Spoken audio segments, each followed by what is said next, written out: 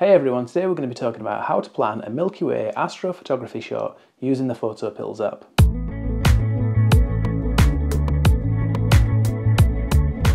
So astrophotography is something I've been wanting to do for a while now. I've not done a video on the channel about it, and to be honest I've not done very much at all, so it's been a goal for this year to go out and do some. In particular I want to get a Milky Way shot, and this video is not going to be about creating the shot, but it is going to be about planning it. And in particular, it's going to be about using the PhotoPills app to plan it. So this video is not sponsored by PhotoPills and there are other tools out there that you can use, but I happen to have PhotoPills and that's what I'm going to be using. There are going to be other tools that you need to use as well. I will touch on those, but it's mainly going to be about using the PhotoPills planner to plot your location and find out where the Milky Way is going to be at the right time and the optimal time to get a really good shot of the Milky Way. I'm going on holiday soon and hopefully uh, I'll be able to get a shot using that planning and you'll be able to see the results in a few weeks time. So before I get the PhotoPills app open, the first thing I need to do is choose a location and I've done that based on a light pollution map. So there are various ones available on the internet and you go on there, you look at the map and you'll have different colours in different areas and depending on that colour it will define how much light pollution there is so obviously you want to look for an area with low light pollution preferably a dark sky area and then once you've chosen that you can set that location in PhotoPills which we'll have a look at now. So once you've got PhotoPills open on the main menu you'll see in the top left you've got planner so that's what we're going to look at first. I'm going to tap on that. You see I've already dropped my pin onto a location so you can move that around you just click and drag it around and you want to put that exactly in the spot where you're going to be taking your photo from. And then if you don't know how to use this already, what you would do is move the bottom bar around. You can slide it left and right. You see that the time's changing there. And as you change that time, you've got lines moving around on the screen. So these will define things like the direction of the sun, the moon, but crucially, in our case, it's going to be the Milky Way. If you can't see the Milky Way data on there, you need to click or tap in the bottom right on the little icon that's got the two squares like layers on top of each other. That'll open up this menu and in here you can click on Milky Way. So what we've got here is a number of concentric circles around our pin then we've got a dotted line or a series of dots in an arc and we've got a thin white line in the middle and we've got a thicker line you can just see it there to the right of the thin line. So the dotted arc is the Milky Way. And you'll notice that the circles get bigger towards one end. That's where the galactic core is.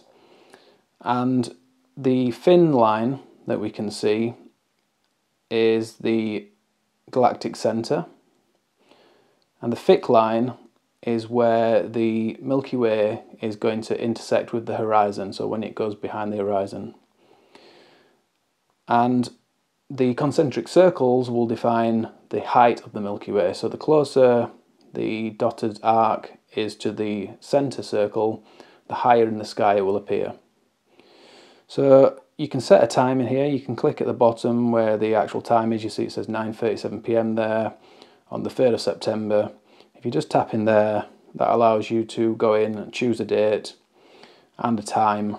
You click OK in the top right. And like I said, you can slide that around left and right on the bottom to find out where the Milky Way is going to be at the time that you want to take your shot. Also at the top, underneath the word planner there, you can see we've got sun and moon. It tells you what time they're going to come up and go down. If I swipe to the right, you see we've got some information there about the moon. That's important because you don't want much light from the moon. So you can see here the phase is new moon. That's the ideal phase because it's almost no moon, so it's not going to be throwing out any light. You want to avoid a full moon, obviously, or any time that the moon is quite large and bright and full. If I swipe the other way and come across here, you see we've got information about the Milky Way. So when it's visible from and to, the azimuth and elevation,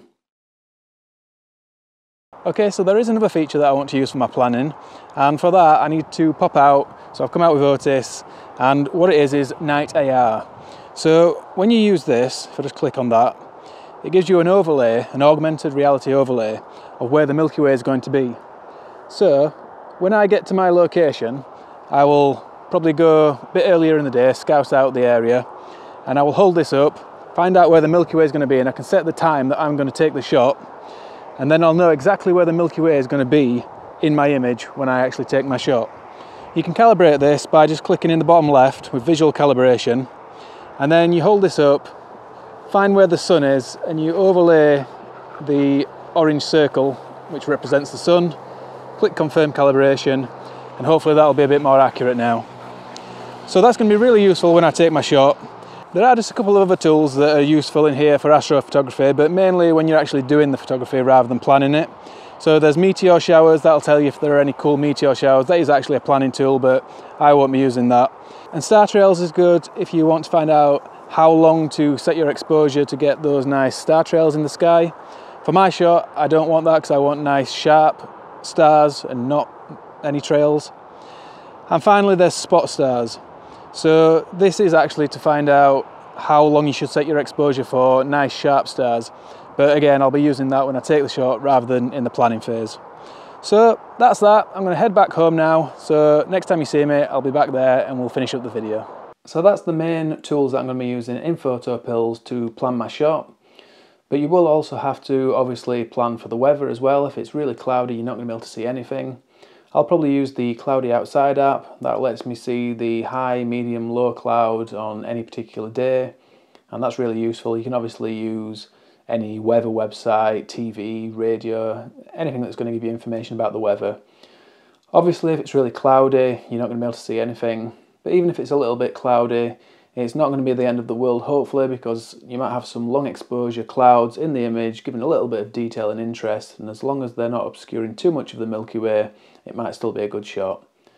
So, like I said, I'm going on holiday. Uh, there won't be a video for the next two weeks, but hopefully when I get back, I'll have a video of the Milky Way shot and I'll be able to share all of the camera settings and gear that I've used to get that and hopefully it's a good image. But until then, that's about it for this one. So a huge thank you for watching. If you found it useful or you've liked the video in any way, please just give me a thumbs up down below. If you're a regular, massive thank you to you for watching.